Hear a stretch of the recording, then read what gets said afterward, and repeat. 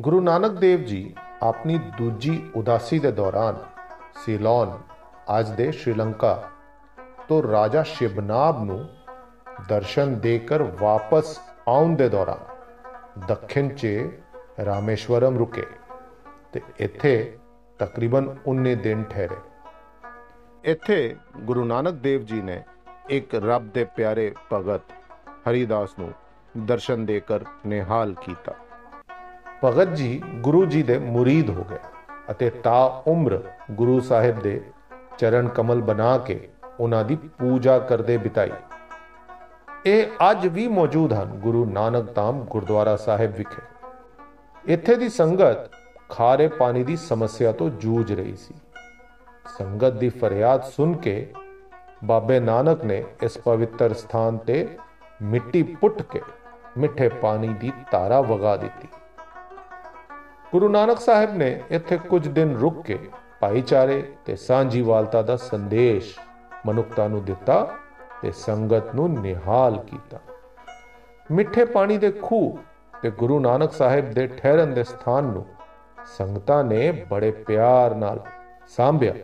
ਅਤੇ ਅੱਜ ਉਹ ਥਾਂ ਇੱਕ ਸ਼ਾਨਦਾਰ ਗੁਰਦੁਆਰਾ ਹੈ, ਜਿਹਦਾ ਨਾਮ ਗੁਰੂ ਨਾਨਕ ਧਾਮ ਹੈ।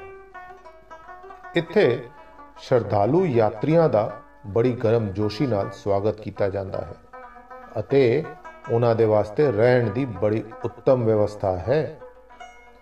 ਜੇਕਰ ਗੁਰੂ ਨਾਨਕ ਧਾਮ ਗੁਰਦੁਆਰਾ ਸਾਹਿਬ ਦੇ ਬਾਰੇ ਜਾਣਨ ਤੋਂ ਬਾਅਦ ਤੁਸੀਂ ਰਾਮੇਸ਼ਵਰਮ ਜਾਣਾ ਚਾਹੁੰਦੇ ਹੋ, ਤਾਂ ਅੱਗੇ ਦੀ ਜਾਣਕਾਰੀ ਕੁਝ ਇਸ ਤਰ੍ਹਾਂ ਹੈ। ਕਿਵੇਂ ਜਾਈਏ? ਰਾਮੇਸ਼ਵਰਮ ਦਾ ਸਭ ਤੋਂ ਨਜ਼ਦੀਕੀ ਹਵਾਈ ਅੱਡਾ ਮਦੁਰਾਈ ਹਵਾਈ ਅੱਡਾ ਹੈ, ਜੋ ਸ਼ਹਿਰ ਤੋਂ ਲਗਭਗ 150 ਕਿਲੋਮੀਟਰ ਦੂਰ ਹੈ। ਤੂਤੀਕੌਨ ਹਵਾਈ ਅੱਡਾ ਵੀ 142 ਕਿਲੋਮੀਟਰ ਦੀ ਦੂਰੀ ਤੇ ਸਥਿਤ ਹੈ।